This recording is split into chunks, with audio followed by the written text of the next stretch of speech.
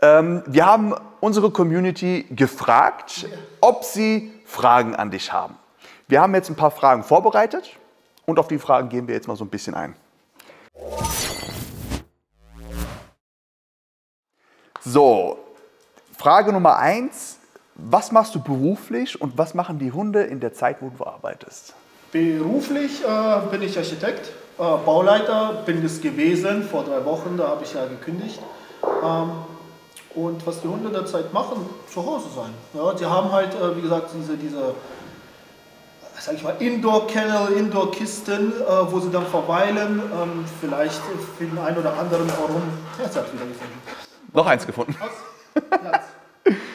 Wir, übrigens, wir haben die gerade versteckt, beziehungsweise eins weggemacht, aber sie hat jetzt irgendwo.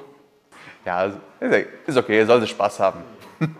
Also Leute, nicht wundern, wenn Athena ab und zu mal herkommt. Sie, möchte, sie spielt halt eben sehr gerne.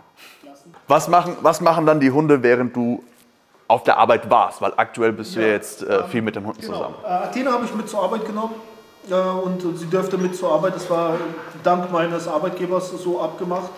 Ares äh, ist in der Zeit zu Hause geblieben, hat sich da rumgetobt und gewartet, dann, bis wir ähm, zu Hause auch angekommen sind. Und ähm, ja, danach hat man sofort Spielspaß, Freude, zwei Stunden abarbeiten, tatsächlich mit Arbeiten, mit Training, mit denen auch äh, Hund Hund sein lassen. Und äh, Abendbrot und noch einmal letzte, sag ich mal, Pipi-Kaki-Runde, so nennen wir es halt, noch einmal okay. vor Schlafen gehen. Ne? Und wie sieht es dann aus? Äh, wann zu welchen Zeiten macht ihr dann eure gemeinsame Instagram-Arbeit? Das ist äh, ja eigentlich meistens morgens. Äh, tatsächlich ist es äh, gegolten äh, dem Wetter, also sprich der Sonne. Da kommen halt die besten, sage ich mal, für unsere Verhältnisse oder für unseren Stil die besten äh, äh, Lichtverhältnisse. Mhm. Ähm, genau, das wird meistens morgens, meistens am Wochenende oder halt zwischendurch, wenn es halt gutes Wetter ist, weil wir haben keinen Indoor-Bereich. Das, was wir jetzt tatsächlich langsam brauchen, wir haben auch keinen Hundeplatz, was wir tatsächlich alles ein. Du hast Neues gefunden? Ja, die Hand gefunden. Oh. Die haben wir vorhin extra weggemacht. Okay, nicht, nicht Mali sicher weggemacht. Ja. Ah, so, dann die nächste Frage. Ähm, wann hast du deine ersten Erfahrungen mit deinem Hund gemacht oder allgemein mit Hunden? Ähm, meine allererste Erfahrung allgemein mit Hund in der ganzen Familie mit einem Pipopo war tatsächlich mit Aris vor fünf Jahren.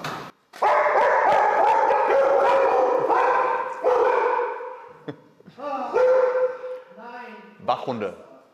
Genau. Die erste Erfahrung mit deinem Hund oder allgemein ja, mit Hunden? War tatsächlich ähm, vor fünf Jahren, als wir Ares geholt haben davor keine Hunde, nicht in der Familie, nicht Opa, nicht Oma, nicht Cousins oder Cousinen. Ähm, Sondern auch deine ersten Berührungen allgemein. Tatsächlich, ja. Das, also klar, Freunde hatten meinen Hund, man hat immer gestreichelt und großartig, das war's. Ne? Also wirklich, wo du auch eine Verantwortung übernimmst und auch was tust und machst, war tatsächlich mit Ares.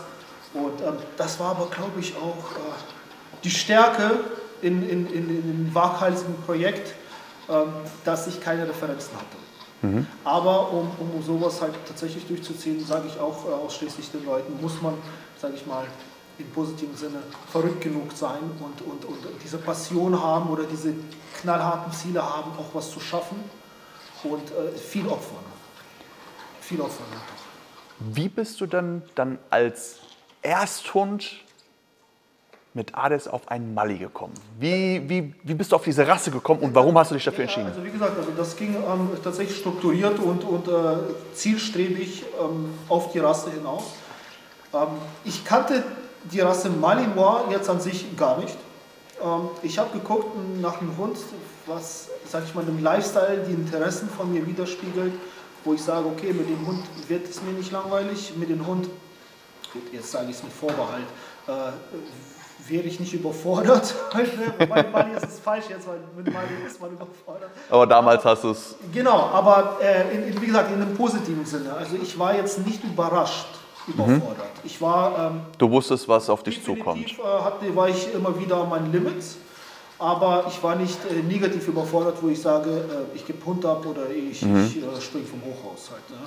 Okay. Ähm, und genau, da habe ich halt nach der Rasse gesucht. Ähm, tatsächlich äh, gab es dann halt den tschechisch-slowakischen Wolfshund mhm. und äh, der Malinois sind halt äh, dann bei mir als Ergebnis rausgekommen, für mich persönlich. Klar sind zwei unterschiedliche Rassen mit zwei unterschiedlichen Arten und Wesen, aber ähm, dann habe ich mir doch äh, mich für den Malinois entschieden, weil das Tun äh, dann im Vordergrund war und ähm, egal wie wunderschön der, der Wolfshund ist, ähm, es sind zwei komplett unterschiedliche komplett Wesen einfach. Aber, aber ich, meine, ich, finde, ich finde das einfach Wahnsinn, dass du halt ähm, tatsächlich so dieser wölfisches Aussehen, ne, das ist halt schon faszinierend. Mhm. Aber mir ging es tatsächlich darum, einen Hund zu haben, mit dem ich arbeiten kann, äh, mit dem ich Spaß habe, mit dem ich trainieren kann, mit dem ich äh, verrückte Sachen tatsächlich, wie man sieht, Hubschrauber fliegen, abseilen vom Hochhaus. Ja. Und da haben mir die Leute gesagt, Junge, du hattest nie einen Hund, du holst dir ein Malinois, du bist schon bescheuert genug. Und jetzt sagst du noch, ich habe ja damals gesagt, vor vier Jahren, ich will mich mit einem Hund abseilen, von, von Gebäude oder aus einem ne, Hürden. Also du hast schon genaue Vorstellungen ja, gehabt, genau äh, in welche Richtung ja, es gehen soll. Also unabhängig jetzt von Instagram. Ja, ja, nein, nein, mit Hund. Das ging, also das Instagram ist wirklich nur so ein kleiner hat sich einfach ergeben. Überraschungseffekt gewesen. Äh, das war gar nicht geplant, Instagram. Es ne? war einfach nur, wie gesagt, ah, das war schon drei Jahre alt. Das heißt, wir haben ja schon drei Jahre was getan. Ja, und Instagram war nur so ein, so ein okay, wir machen Hat es schon ergeben. Genau. Und äh, das war halt äh, schon der Wahnsinn. Also ich hatte schon bestimmte Vorstellungen, was ich mit dem Hund machen will. Und die ganze Inspiration und Motivation ist tatsächlich von diesen ganzen Spezialeinheiten, diese Canine-Units, äh, wo ich sage, Alter, da hat man schon hoch so aufgesehen und gesagt, Alter, das ist mega. Und es ging halt tatsächlich nicht darum, wie gut der Hund im Nachhinein hört, ob er Sitz macht, ob er beißt oder nicht beißt, ob er loslässt. Es ging tatsächlich um dieses Vertrauen und das äh, Zusammenarbeiten. Team, genau, ja. die Zusammenarbeit, was sie erleben, was sie tun, wo, wozu man, sage ich mal, einen Hund bringen kann, das im positiven Sinne, äh, eben weiter sein Herrchen vertraut, mhm. das zu durchleben. Und das fand ich halt klasse. Ne? Also wie so, so tatsächlich äh, ja, sag ich mal, Sohn, halt, ne, Buddy, der einfach da ist, aber auf vier Pfoten. Ne? Und das, das war nicht faszinierend. Und deswegen ähm, habe ich gesagt, alles klar, ich will auch einen Hund. Ich will mich mit ihm von Hochhaus absaugen. Ob es funktioniert oder nicht, oder vielleicht wäre ich in Fettnäpfchen getreten. Alles hätte sein können. Ne?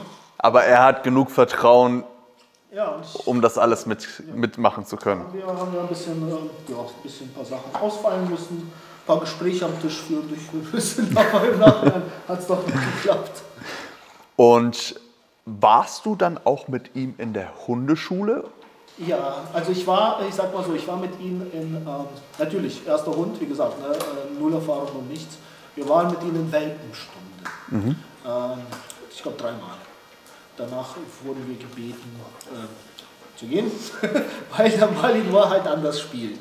Mhm. Ja, war jetzt für mich nicht großartig schlimm, weil ich ja eine andere Vorstellung vom Training hatte. Und äh, mir ging es nicht darum, dass ich meinen Hund jetzt äh, spielen lassen tue unter andere Welt, wobei das ja Sozialisierung ist. Ne? ist ja alles gut. Danach waren wir in äh, Schäferhundvereinen, also äh, ich sag mal so, keine Hundeschulen, sondern Verein, ähm, auch äh, in, in, drei Stück insgesamt. Und ähm, ja, wir haben uns verabschiedet von den dreien und haben gesagt, wir gehen andere Wege. Das war, glaube ich, ein Jahr haben wir versucht ne? und äh, das war nicht unser. Haben uns halt äh, nicht ganz so gut ergänzt, also ich mal so, so, wie es eigentlich im Hundesportlichen vielleicht auch sehr perfekt wäre. Nur war das nicht unsere Ambition, das zu tun. Mhm. Ja, und da haben wir uns halt äh, verlassen und ja, seitdem machen wir das alleine. Und, ne, tatsächlich äh, öffentliche Gärten auf, auf, auf Straßen, in Gärten von Freunden versuchen wir unser Bestes im Wohnzimmer und alles. Ne? Das heißt, aktiv äh, habt ihr euch dann in diesen Hundesportverein im Hundesport angetastet? Wir haben es versucht, genau. Weil das wäre jetzt schon die nächste äh, Frage gewesen, ob du Hundesport gemacht hast. Ja, also wir haben keine Turniere, wir haben keine Prüfungen äh, von sportlichen her aus, wir haben also wir haben da gar nichts gemacht, außer äh, mal Fußlaufen getan, auf dem Feld, auf Wiesen trainiert, äh, einmal in der Woche und das vielleicht für Monate. Okay, das heißt diese typische Kuren, sage ich mal, genau. das, was man halt immer einstudiert. Kenn, kennengelernt und äh, mal geschaut okay. und äh, man, man, sieht jetzt in deinen, in deinen Fotos, in deinen Videos, ähm, dass du ja ziemlich viel mit dem Hund machst. Und das geht ja auch schon in Richtung Militär. Ja. Jetzt die, es sind jetzt gleich zwei Fragen, aber erstmal, bist du Berufssoldat oder bist du Soldat? Was, was genau steckt dahinter mit, mit diesem Erscheinungsbild Ja. Soldat?